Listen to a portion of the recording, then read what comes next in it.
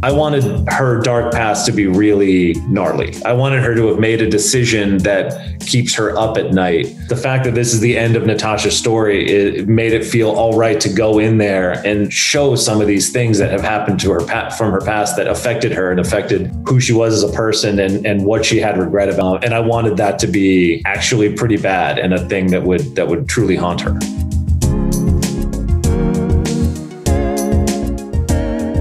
Welcome to Script Apart, a podcast about the first draft secrets of great movies. Each episode, a brilliant screenwriter revisits their initial screenplay for what became a beloved movie, discussing what changed, what didn't, and why. From first draft to the big screen. Today on the show, a deep dive into Marvel's latest superhero adventure, Black Widow, with the excellent Eric Pearson. Eric is the screenwriter responsible for giving Natasha Romanoff the Avengers super spy with a dark past, the solo movie she's always deserved. Eric's account of writing the film makes for a fascinating glimpse inside the Marvel machine, how their movies are written, the relentless pace at which that machine moves, and how each film is made to fit into a much bigger interconnected story at script level. I'll warn you now though, you may well feel stressed out just hearing about the challenges in front of Eric when he came on board the project. Eric had inherited an outline mapped out by Ned Benson and WandaVision showrunner Jac Schaeffer. Within that outline were a bunch of puzzle pieces and not much time to make them all fit together. Production was looming, and sets for the film were already being constructed. In this episode, Eric shares how he navigated the intense pressure of having to write such a highly anticipated movie in such a short amount of time. We also talk about what guided him towards the theme of family at the heart of this movie and all the different story avenues explored during the screenplay's creation, including the truth behind rumours of a planned cameo from Tony Stark. This is a spoiler filled conversation, as you've no doubt already guessed, so if you're yet to see Black Widow, please do hit pause now, get yourself to a cinema or watch the film on Disney Plus, then come back as we dive into every single one of this film's many twists and turns. Before we do that, though, can we please take a second to discuss how Script Apart is now also a magazine? Yes, we recently launched a Patreon page and we wanted to do something special to market. This 51 page digital magazine is full of exclusive interviews with the writers of movies like Palm Springs and Blue Valentine, as well as written versions of classic script apart interviews with the likes of Aaron Sorkin and Barry Jenkins. To get your copy, as well as many other perks, head to patreon.com forward slash script apart or click the link in today's show notes. Okay, with that out of the way, let's get into my conversation with Eric Pearson about the brilliant Black Widow. A massive thank you to our Patreon supporters, that includes Lewis Adamu, Jonathan Wakem, and Kim Helbam. You're listening to Script Apart, hosted by me, Al Horner, produced by Camille Demek. Eric, so great to have you with us. How are you doing today? I'm doing great. Thank you for having me. Oh, it's fantastic to have you here. Um, huge congrats on Black Widow, first and foremost, Eric. It, it's not only one of my favorite Marvel movies to date, but it's also quite possibly the Marvel movie that I think, as a screenwriter, I'm most fascinated by just in terms of the storytelling challenges that it must have posed. Like that small window in this much wider narrative that you were handed to fill, the implications that meant for the story you could tell, the tonal tightrope that you had to walk because of who this character is and, and what her past represents. You're going to give me dramatic flashbacks here. well, if you yes. think about them all at once, they, it is it is insane. And there's a point at the very beginning where I was thinking about them all at once. It was Everyone knows that Natasha's dead. Okay, that's tough. Uh, everything happens between Captain America: Civil War and Captain and, and Avengers: Infinity War. Okay, that's tough. Uh, like it was just yeah, there was a lot of things where it was like if you thought about them all at once, it was it was very very daunting.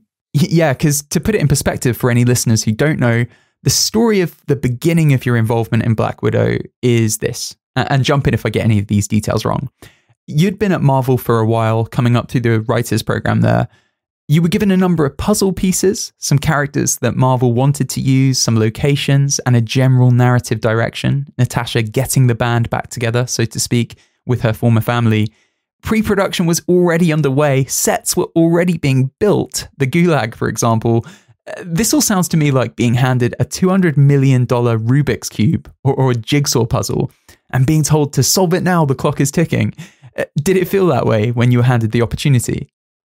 The jigsaw puzzle is a better analogy. Yeah, it's more like we hear some pieces, but we don't know what the puzzle looks like. So build a build a puzzle and then put it together somehow. And you have, but you have to use all these parts. So yeah, no, that's very well researched, and I think that you're you're you're right on. Um, yeah, that's that's kind of how it happened. That's kind of how it happened.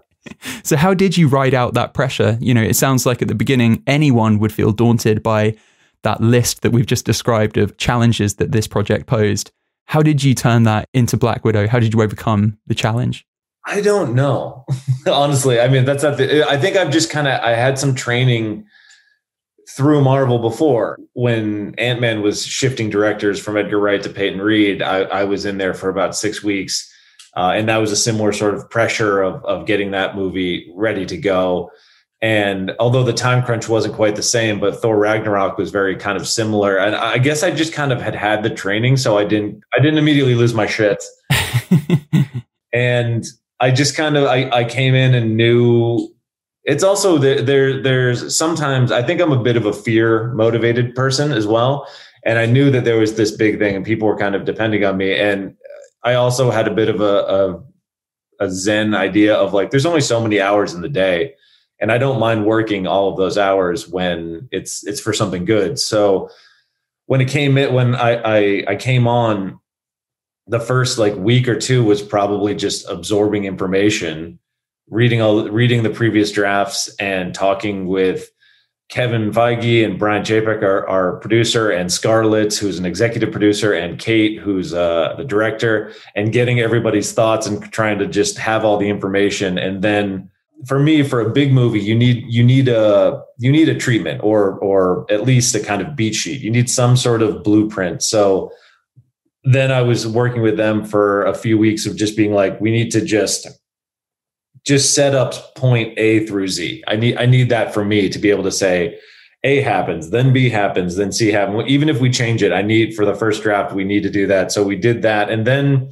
it was pretty much just working for you know, like all day, sometimes till like two or three in the morning. I was I, I was flying back at that point and I was at Disney in the Frank G. Wells building. And, you know, there were some times when I would be, you know, leaving at two or three in the morning, but like, I don't know. It's also like you get to tell stories for a living. You can't complain too much. And fortunately, also with this, especially with Natasha as a character, it wasn't as hard to find her voice and character. There was there were examples there. There were there were examples that I had been very familiar with, having worked with Marvel before, having seen these movies, having know you know knowing these movies.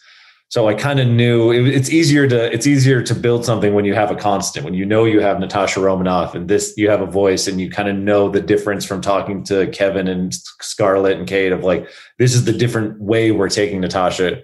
Uh, I, I wasn't just the the worst thing that you can have really, or at least in my opinion, the worst thing is uh, blank slate. You can do whatever you want because if every you know, I like having a little bit with with these things, having a little bit of of an understanding of where I can start building off of you know the building blocks.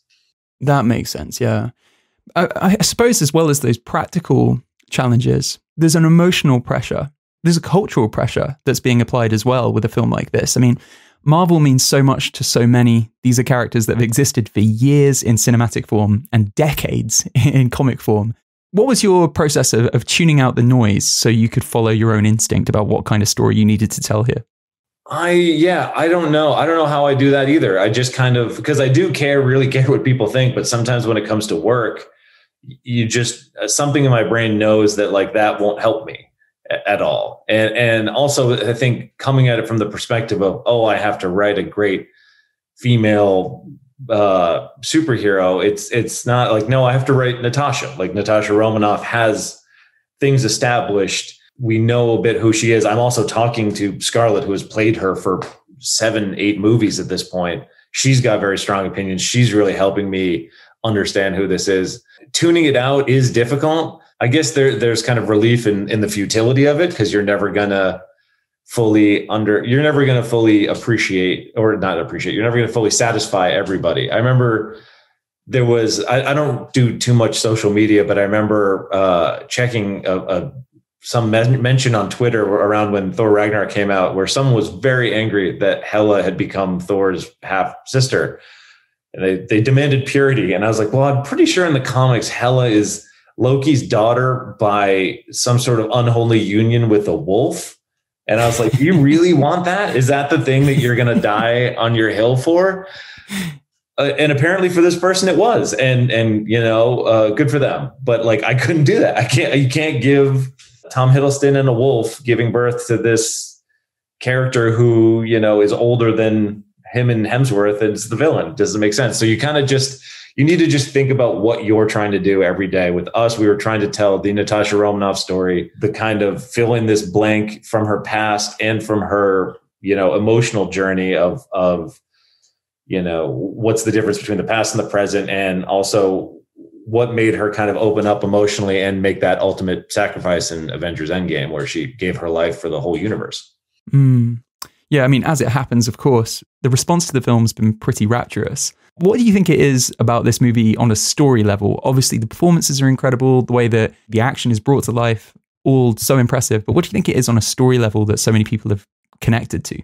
I got to assume it's the family, uh, simply because that's my favorite part. The the family together and the family dinner scene especially and uh, I remember having those conversations about like this is what's the great about Marvel. The things you can only do in Marvel is that we're having that kind of traditional Thanksgiving dinners gone wrong argument scene with the family, but they're all in these like weird spandex superhero suits and they've you know just fallen out of the sky and there's a mind controlled pig. Like there's just you get to do the, the a very familiar kind of setting and then add this this kind of comic book craziness to it which for me made it so fun. But i think the reason that people get attached to these these uh, characters is more they they see a little bit of themselves in it and you know so i think people especially responded to natasha and yelena and kind of the the the bickering sisters, the the little sister constantly needling the older sister, uh, which all came from a place of you know wanting to belong, and that's what I think Florence did incredibly well. Is not only was she funny and delivering those lines and needling her and being very charming, like she was able to to kind of set the, the underlying pain of you left me. Like we were we were best friends we were sisters. You, you left me to go do this other thing. How come how could you not bring me with you? Like that was that that's what really kind of made it. And i think hopefully that's what makes people kind of tear up at the end when she says that you know it was real to me too and they have that kind of moment on the the ground below the crash so i yeah i would have to say it's the family. There's so much in the film. Atonement family the ways in which we can and can't outrun our past. These are all themes that kind of have a presence in the film. Did you take a breather amidst the kind of like madness of oh god i've got to this is the task in front of me did you take a moment to kind of sketch those things out so you knew where you were heading? No, I would be lying if I said that I had all that figured out going into the first draft. I, I think that my, in my mind, they were the characters were much more uh, for the first draft, at least, they were much more uh, archetypes. There was, you know, uh, bratty little sister and oafish dad, and you know, it, it was more like that. I was at that point I had gotten very swept up at the beginning of the of the logic of the of the villain plot of the plot, like because we also in in having this time period between Civil War and Infinity War, we had to create a villain who was from Natasha's past that she also didn't go after, so she had to believe that he was already taken care of. How does that work? And he has to be threatening the world in a way that if it succeeds could go unnoticed because we've seen movies since then. If he says, I'm going to blow up the moon, we know that that didn't happen. we know he's going to lose because the moon remains in all the movies that have come after Civil War. Uh, I was so for the first draft, I was very much, I need to let's try and get the action moving in the right direction. Let's have everything make sense from A to B to C to D, all the way through to Z, that we can understand it and kind of put the uh, uh, just kind of uh, more of a, a, skeleton of the the characters there, and then we can start fleshing them out a little bit more. Which I, you know, which we got to do in subsequent drafts, and which really, honestly, more than any other project, I feel like got uh, so much help from the actual actors themselves and, and getting to do about a week of rehearsal a few weeks before we started shooting, which was, you know, I feel like by the time we got it to them, it was good. Like the character stuff was was totally serviceable and and at times very good. But I feel like working with them together made it much better and great. I read that you wrote that first draft in just 11 days. As a small aside, I think you've just overtaken Barry Jenkins on the Script Apart guest leaderboard for quickest screenplay written. He, he, he did Moonlight. what was his? What was his? He did Moonlight, and I think he said 14 days, which is pretty nuts. Um, oh, come on. I know. Yeah. Really?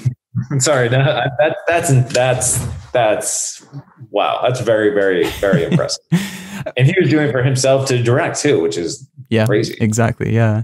But in terms of your first draft that you got out after 11 days, what were the major differences? I mean, you've mentioned there that the characters were sort of sketches of the characters they'd become and that you really dialed up, you know, the relationships between them, the dialogue between them. Yeah. What else kind of changed is from that first draft onwards? Well, the first draft didn't have American Pie in it. I remember that. That was because that came up from the the the chaos of the those rehearsals. And I think uh, Cate, our director, did something really smart in in kind of letting the four of them loose on me. Where they sat, she sat me down. She was like, "We're going to go to these rehearsals and talk about." We all knew the family dinner scene was going to be the big one. It's it's just enormous. It's eight or nine pages. It's comedy. It's it's kind of emotional climaxes. It's it's a pig being mind controlled with a bunch of comic book exposition. So sitting at that table where she sat down, and also it's just there's no way for it not to be intimidating when it's Scarlett Johansson, Florence Pugh, Rachel Weisz, David Harbour. They all come in with all their own ideas of what they want to do. They're all saying it at once. And it, at first, I was like having a full on panic attack. But when I was able to get away and kind of like take down their ideas, I figured out different ways to do it. And and that all came from David saying I should get up and put on music and we should all be dancing. And I was like, oh my God, this scene's getting out of control. But from that, the cast at some point started singing American Pie. And like all, each of them knew different parts of it. So they would kind of join in and it was just surreal. And and from that, talking with David and Florence, that kind of became, a, oh, what if that's little Yelena's favorite song as a kid and that can come back which was great. So that was a really a fun thing to find and something that wasn't in the first draft. The significance of that song as well particularly american pie there are these undertones in those opening scenes of yes they're undercover but they've fallen in love with or certainly natasha yelena they've fallen in love with american culture to an extent. Yeah. Well the key that was another key thing that was to be that was discussed a lot is that yelena doesn't know like, and I was very, I had to be very kind of like, you know, certain of that because whether or not she was too young when she was taken for them to tell her, or she was so young that they told her and she just forgot and assumed it was her real life, like she needed to not know what the hell was going on. She was more traumatized and which leads to you know another great moment of it was real for me and like you know how, how she's the one I, all of them have had pretty you know bad runs in their life. Mm. But Yelena, for some uh, for some reason, maybe because she's the youngest or because she was the most innocent, really had the biggest impact emotionally. I feel like to the audience of I got completely blindsided by this. Like you, you guys got a chance to tense your body before the car crashed. I was just out the window flying across the highway. Anyway, but that's off your your question. I'm trying to think of other differences between first and well, in the first draft, we didn't reveal that the red room was in the sky until Natasha dove out of the window, which was a, a, a callback to a, a, very kind of famous comic panel from one of her uh, the great Black Widow comics. It just ended up being too much. Markus and McFeely, who did, who are great role models of mine, I've gotten to work with them on, on Infinity War and Endgame, and I think they're great. They have a phrase that I love, which is "That's a long way to go for salami," which is when you're writing so much extra stuff, like extra mediocre stuff, trying to explain one thing. It's just a long way to go for something that's just okay. and I, while it was a cool reveal, we had to basically no characters could talk about knowing where they were. They couldn't say up here. They could. It had to change their language so much. So we we ultimately were like, we're gonna. People are gonna know. We're gonna have to just tell them right away. Mm. That that's that, and it also kind of gets a question out of people's mind of how did this evil organization remain uh, you know above the radar for so many years while Natasha was off there kind of traveling the globe saving you know saving people And in terms of like establishing when this film is happening, it can be confusing for people who aren't like, you know, uh, Marvel heads. Was there anything else you explored to try and communicate quickly that this is happening here? This is the situation in case you haven't seen Civil War recently. How did you kind of approach that? I always kind of take a heavy hand to it, and then it gets cut. It gets cut down. I, William Hurt had more lines in his scene, uh, going to kind of apprehend her. He had a longer speech about exactly kind of what had happened. Right now, it's been kind of reduced to uh, uh, she assaulted the king of Wakanda, and and she's in, in, in violation of the Sokovia Accords. It's it's we hit a few things to say the you know to imply when it happened, and then the radio as well. I think that I think I did a lot more, and ultimately we kind of just trusted the audience to to kind of pick up where where we were in the timeline. Mm. Did I hear as well that it was during these kind of early opening establishing scenes, there was a Tony Stark kind of blinking you'll miss it bit of archive footage that helped also kind of set the scene?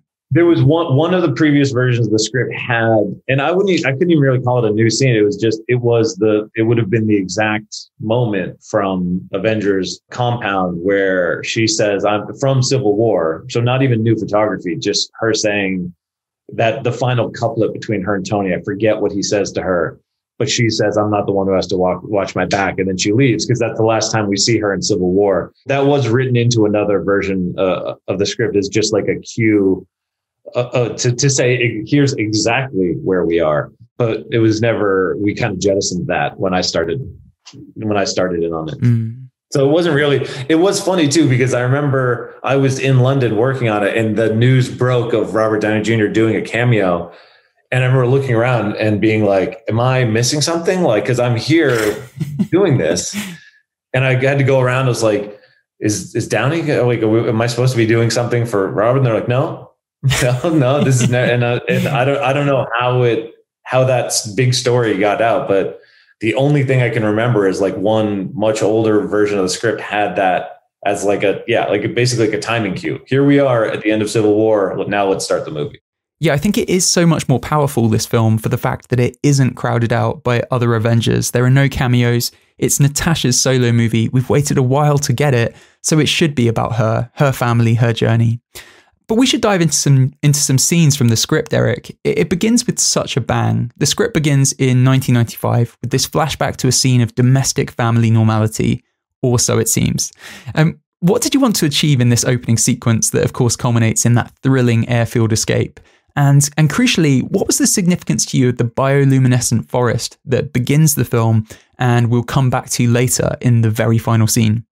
Taking the second part first. I think that was more just, you know, that was a happy time in her life where she had forgotten what was imposed upon her, what was supposed to be expected from her. As she said later, you took my childhood and my choices. Like, you know, that was a point where she was got to just be a kid and felt free and and not like a product of the red room who was going to be forced to do rough things for the rest of her life or for, you know, seemingly at that point so then we wanted to kind of just bring it back as like a, a you know she found peace uh, and and she found like tranquility in her heart and is is happy at the end of this as she goes off to the adventures that will you know lead through Infinity War and Endgame.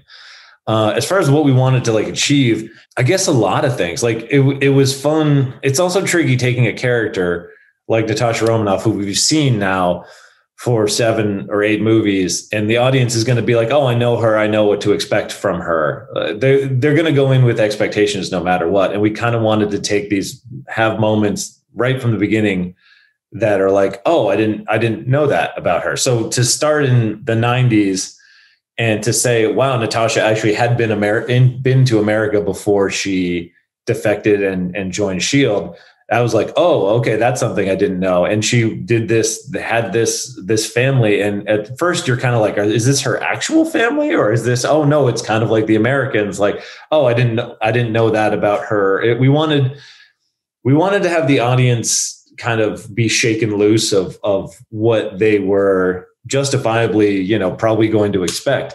it was a, it was also a very good show or a, a very good. I, I, thought it was good, but it was very uh, you know it was a choice to have that scene where she walks into the trailer and finds Mason, O-T Fagbenle's yeah, character, yeah. where he's asleep in the bed. And I really kind of wanted that to be for the audience to be like, like, hang on, like I know her and I know all her friends. I've seen her in eight movies. Who the fuck is this guy? Like, why is she so comfortable with him? Why have I never heard about him before? What is going on? What is their relationship? And because we really wanted to to get the audience back to square one of like, you don't really know everything about her. And she has lived a lot of lives before this movie. You know that that opening was meant to kind of put the audience hopefully off balance and and be like okay well no i can't expect uh, an avengers movie or uh, you know a captain america movie or an iron man movie all of which she's been a great part of before when it's her in the driver's seat things are different than you expect the quiet brutality of that scene when they land they escape america they land in in cuba i think it is so, yeah. yeah.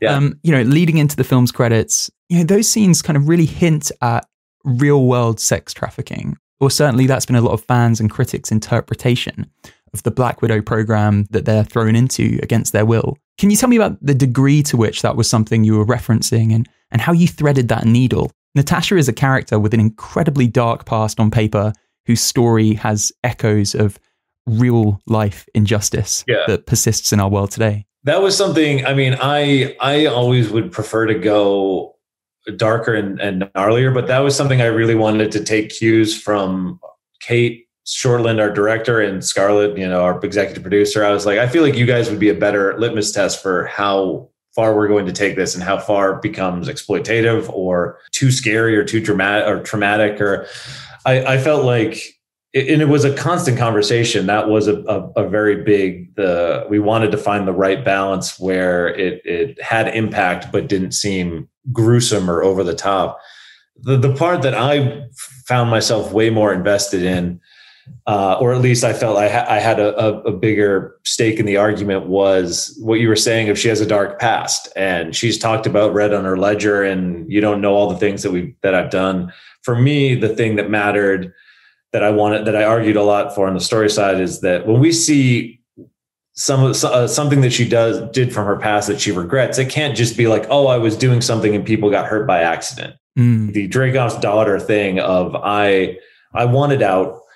Uh, I saw a way out, and the way out was to intentionally harm a, a little girl who is ba- it's basically what Natasha most wants to protect. You see it with Yelena uh, young Yelena, where she says, "Don't touch her." It's it's she wants to protect herself, uh, other young girls like herself and Yelena. She hasn't been able to, and then to get away from this guy and to stop it, she has to to hurt an innocent young girl. I wanted her dark past to be really gnarly. I wanted her to have made a decision that keeps her up at night because if if it's you know she's so cool she's been so cool and part of what is so cool about natasha is the mystery, the dark mystery in Scarlett's performance in all these other movies of like, you don't know what I've done in the past. And like in your mind, you're like, oh, it must be really fucked up what you've done in your past. So because we now know that she's giving up her life in Endgame, if we didn't know that, then I never would have unpacked any of these mysteries. It's it's the fact that this is the end of Natasha's story. It made it feel all right to go in there and show some of these things that have happened to her from her past that affected her and affected who she was as a person and and what she had regret about and what kept her up at night. Uh, and I wanted that to be actually pretty bad and a thing that would that would truly haunt her. Mm. And on that same note, there's there's a fantastic scene immediately after the Gulag rescue, not to jump too far ahead, where Alexei makes a joke about it being Yelena's time of the month, and she yeah, responds, yeah. "I don't get my period, dipshit. I don't have a uterus. That's what happens when the Red Room gives you an involuntary hysterectomy. They just kind of go in and rip out all your reproductive organs." Yeah. Alexei is very uncomfortable. He says, "Okay, okay, stop." And the biggest laugh in the entire film was uh, Florence's, when I watched it in the cinema the other day, was Florence's delivery of, okay, I was about to start talking, uh, talking about fallopian tubes. Oh, that makes me so happy. That makes me, because I, I, I, that was a big, that was like a rocky road for me. Cause, but I, I was the sole pusher for fallopian tubes. I want to say fallopian tubes. I think I, I made the mistake of of not because I and I will tell you too from uh, we had a premiere event here, and when he said, "What is it? Your time of the month?"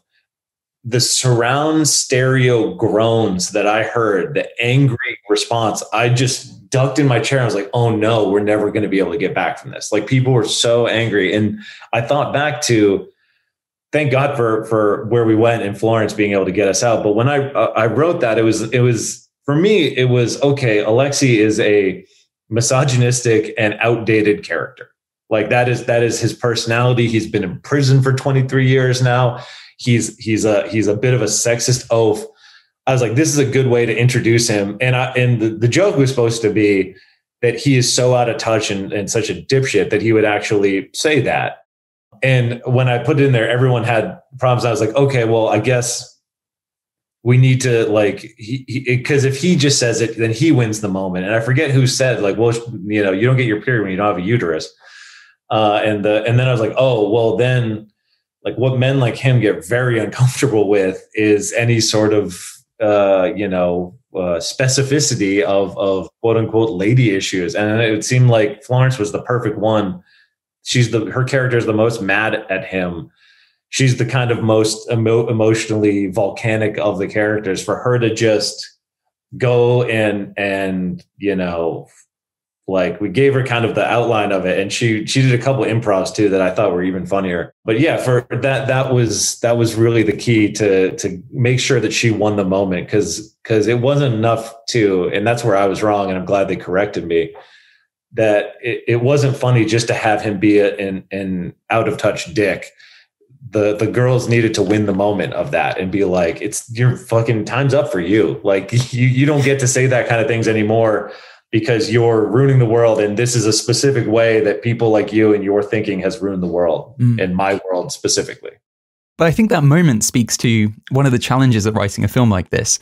How do you find humor in a story that's embedded in trauma because of the past that these characters yeah. have escaped. How hard was that tonal balance? I always try and make things funny whenever I can, which which I just think it's a good way to endear endear people to the audience and also to have like sometimes it's it's normally it's rarely jokes that work to make people laugh it's character dynamics and so what we have with natasha romanoff is like the most intentionally closed off of the Avengers. Like she started her life over again, left her past behind. In her mind, it, I've always thought she just pretended it never happened. Like this is, I, I, I've done that. It's over. And then she got to present herself to the Avengers and her new life and her new family, however she wanted to be seen. What's a fun character to put that person with is a kind of younger version of you who is equally as dangerous from the fight that we see, but like where you know, Natasha is completely closed off. Yelena is, like I said, she's like emotionally volcanic. She just kind of got out of there and she's not scared to say, This is what I think of that. This is what I feel about this. And to have them going against each other, that's funny to me. That, that like just the, their conversation gets funny. To have oafish kind of father who is so single or kind of single minded that he can't even see uh, he's just constantly thinking about how great he's doing. Uh, and he is truly proud that they've killed so many people because that was the job that he was given. And he didn't think as to why he was given that job. That to me is funny. And then also sometimes you just kind of score free ones where I, I always thought it was funny, but I never thought it would be as funny as I, it makes me laugh every time with you know, there's a lot of these movies these days where after a big fight or whatever, is everyone okay? And we're like, yeah, everyone looks like they've been beat to shit. And and they're like, yeah, no, we're good, we're good. But just to have Rachel, who is who is very who is the you know she dealt with her trauma by by going science and logic and like I'm going to compartmentalize everything in my brain so I don't have to deal with this side of things. She's just so blunt and straightforward. Just I am clearly injured. I don't know why. That makes me laugh a lot. And Rachel's delivery has gotten a laugh every time I've seen it. Sometimes you just stumble on them and they and they that that was a big one for me too because that's towards the end of the movie and when people laughed uh, I was like oh thank god they're still paying attention mm. like we've got we've got them if they're still laughing at that how did you land on the mind control agent as the the MacGuffin of the movie I honestly don't remember I don't remember. I, I'm I'm trying to think. Oh, it was it was kind of a puzzle piece thing. It was it was uh yeah, it was a puzzle piece thing because we knew we needed to get to Budapest. We knew we had to shine light on what had happened in Budapest, as fans have been wondering what to, has happened in Budapest, and it felt like a good place for Yelena to to to be. But um, I don't know. We needed we needed a, re- a reason, and I think that I. It's hard to remember these because, like, when you're when you're working these these emergency kind of sessions, they they go for 12, 14, 16 hours, and it's a lot of just being in a windowless room pitching things. And I remember pitching this kind of uh, this moment. Oh, that was something. That was something that was different in the first draft. I think in the first draft, one of the packages that came from the Budapest safe house, she opens it and she gets gassed. Yelena is that, or and is that? doesn't. Natasha got gassed, uh, and I didn't even totally know where it went, but I was like, oh, okay. And then from there, we came up. We we realized the idea that after Natasha was able to break away from the Red Room, Dreykov had started instituting a much more total chemical level of of mind control on his agents because uh, of Natasha's successful defection. Um, and then we realized, okay, well, then it doesn't make sense that she would get that, like, so you know. But that that was a different thing, and but then yeah, we kind of worked backwards from that, and it became a really cool also idea or a way to see a fully activated Yelena Belova in Morocco, which is one of my favorite things, just because of how brutal and and gnarly Florence is with the knife twist and the pull and her just like she has that look in her eyes that, that's a bit uh doing chores. That's really scary. And then to see the change when she gets gas and kind of regains full control of her faculties uh I don't know. It was a very good visual storytelling uh, of of what needed to be stopped. What uh, you know, what our villain plot kind of could be all about of a cowardly man hiding in the sky who's just manipulating things from afar because he's too scared to actually deal with people. And speaking of Yelena, I'm really curious to know Marvel as a studio, they've innovated this interconnected storytelling style that spreads out character arcs over multiple movies and TV shows. When you're given a character like Yelena, are you instructed okay this character is going to be in the hawkeye show maybe or they're going to have their own solo movie perhaps and this is going to happen down the line. Please can you plant these seeds or is it kind of free reign for you?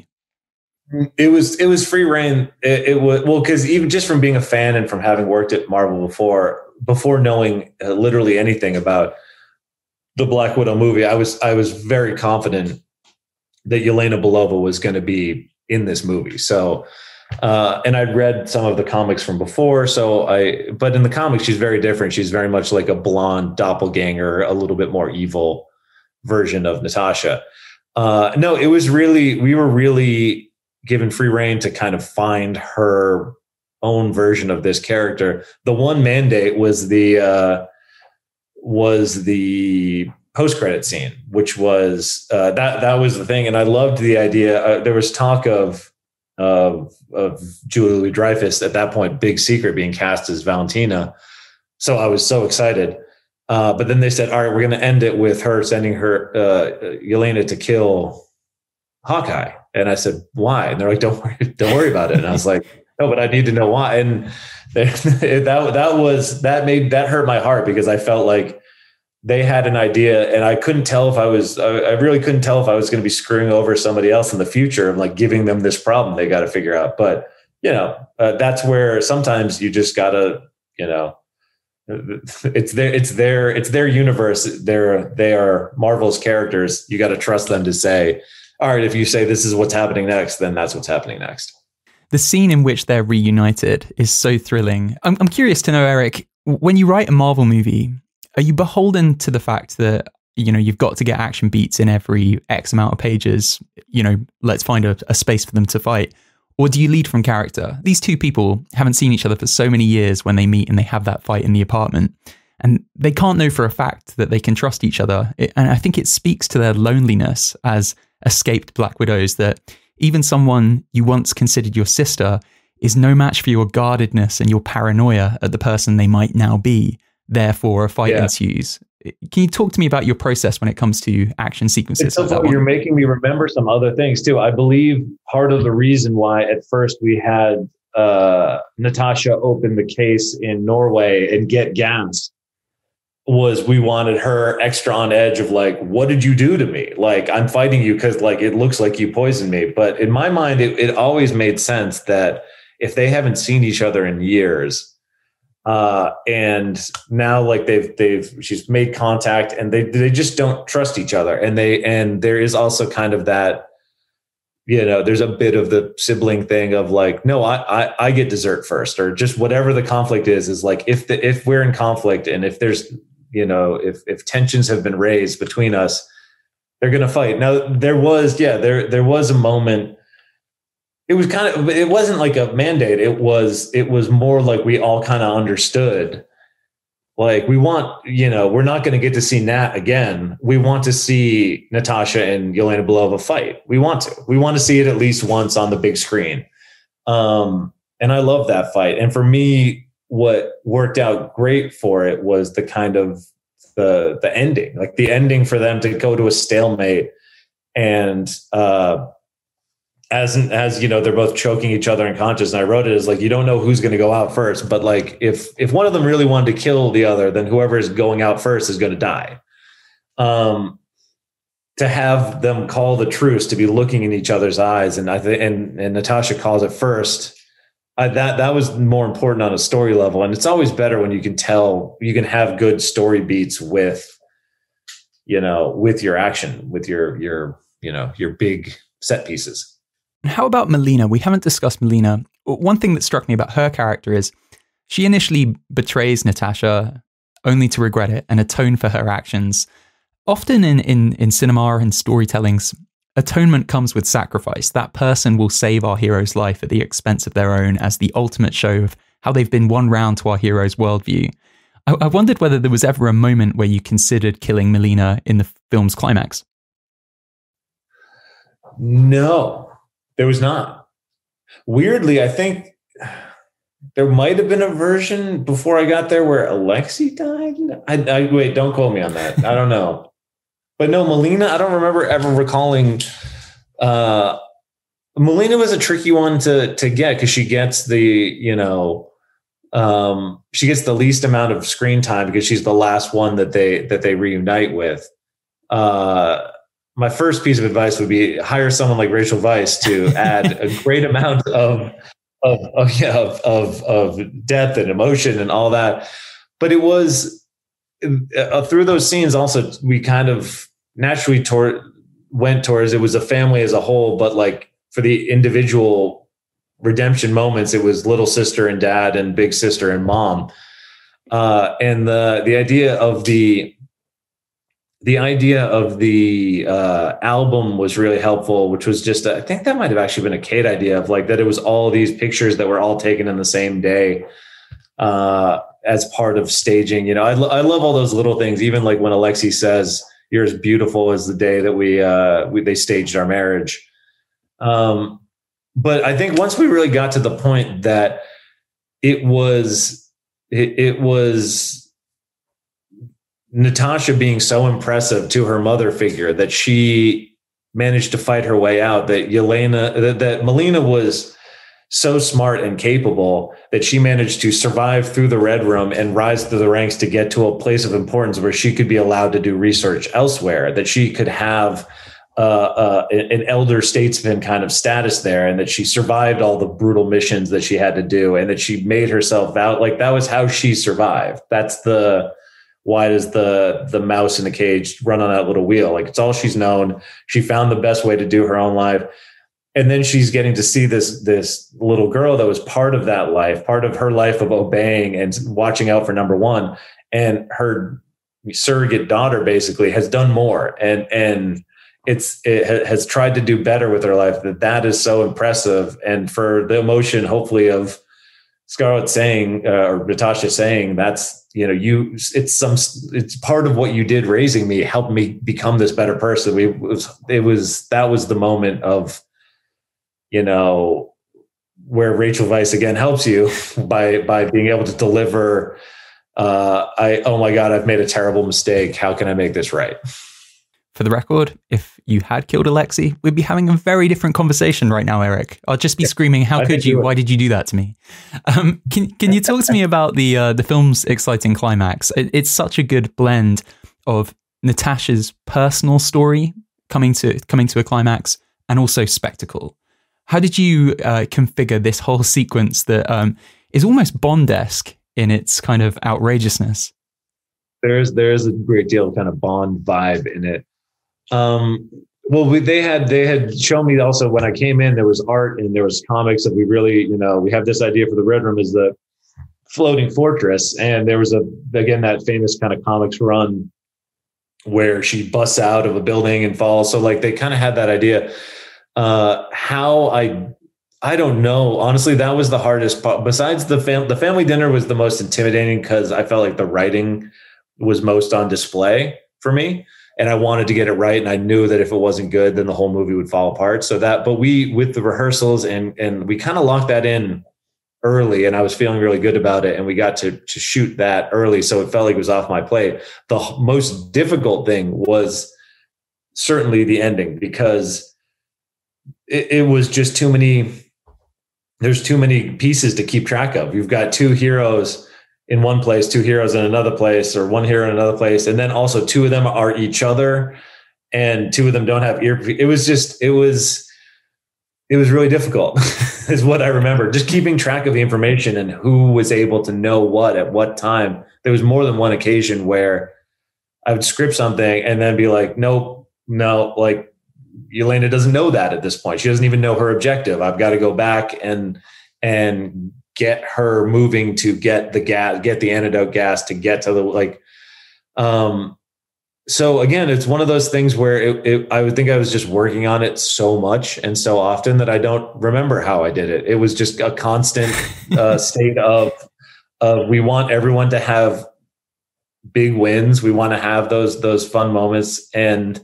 we we would ideally love for everybody to kind of get uh, a you know a, a fight win, a, a, fun laugh moment. Uh, even like I love Rachel just walking by, like slight change of plans. Uh, I destroyed the engine. We're going into a crash. like just like her matter of factness always made me laugh from that. And I guess the thing that I wanted, and and uh, hopefully people like it, but there was something that I pushed for from the beginning that I remembered from a comic of her. In the comic, there she's fighting a guy who has the pheromonal lock on her and she can't do anything and she's just getting her ass kicked. And then he breaks her nose and there's a great panel of her looking up and she's got a psychotic smile and blood in her teeth and she says i can't smell you anymore and then turns the tables. It's like a professional wrestling match. It's that moment where hulk hogan hulks up and everyone's like going crazy. So i really i wanted that so bad of her and we found the way for her to break her own nose which felt even more kind of badass that was that was the thing I kept kind of pushing for, uh, and also I felt like the pheromonal lock. There was something so creepy about that. There's something like some of those scenes are pretty hard to watch just because of how creepy it is, and hopefully, when Pete when she smashes her nose against that desk, it it is a it is a jump up and cheer moment. Yeah, I'll, I'll tell you what I love about that moment. Natasha started in this world, the MCU, as a character sort of defined at first by how male characters perceived her and her beauty. And that act of like physical self disfigurement, if that's a word, at the end, it, it, just felt like such a great journey to go on from from where she started. It's it's I define my own limitations, and also it's kind of her like you may think I'm a beauty, but I'm a worker. Like I get the job done, and and I just did a full you know double switch reverse interrogation on you. And the only thing that went wrong is you weren't strong enough to break my nose. So now i'm going to have to break it on my own and beat the hell out of you and bring you to justice. Like i like I, like that kind of that that that attitude from natasha romanoff is, is something i like a lot.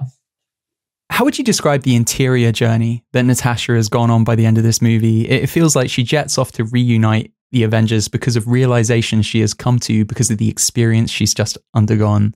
Patching up things with one family instills in her an urgency to repair her other family. Was that the intention?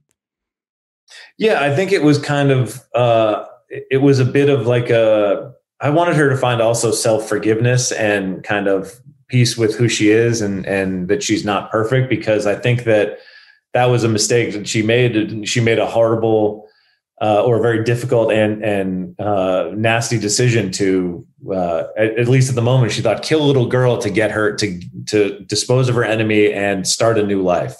And from that trauma, she basically shut off the whole previous part of her life. Now, through the events of this movie, we get these. You know, that's that's something I found really fun is that Natasha, you know, even there's a there's a line in Winter Soldier where she turns to Steve Rogers and says, "Who do you want me to be?" Like it's like, oh yeah, I she gets to decide. She can kind of be anyone, except around these people because there's something about your mom and your sister and your dad or whoever you grew up with. There's something about these people that will that that breaks down her like walls of like she keeps trying to be about the plan and Yelena's asking her about the pose and she keeps trying to be about the plan and Alexi's asking her about uh, Captain America and all this stuff and why she's so mad at him. She keeps wanting it to be about the plan so it can be over because she's an Avenger. But uh, her Melina's asking her, telling her not to slouch. By that point, she's just like literally like, here's what's going to happen until she really like accepts the fact that this meant something to her and addresses those emotions and that heartbreak and these people and forgives them and forgives herself for the things that she did and and that kind of gives you actual peace and instead of just thinking, oh, things went to the things went to shit with the Avengers. Of course, just my luck. Uh, I should go off. She's like, no, I got to go back and I've got to try and help bring this family back together. That was that was what we were hoping to accomplish with this. Well, it's such a fantastic send off to Natasha and such a fantastic film in its own right. It stands tall on its own. Oh, thank you. Eric. This has been a total blast. Thanks so much for coming on Script Apart. Awesome, man. No, I had a, a ton of fun. Hopefully, I get to come back for another one sometime soon. Let's do it. You've been listening to Script Apart, hosted by me, Al Horner, produced by Camille Demek. Thanks for tuning in. We'll see you next time.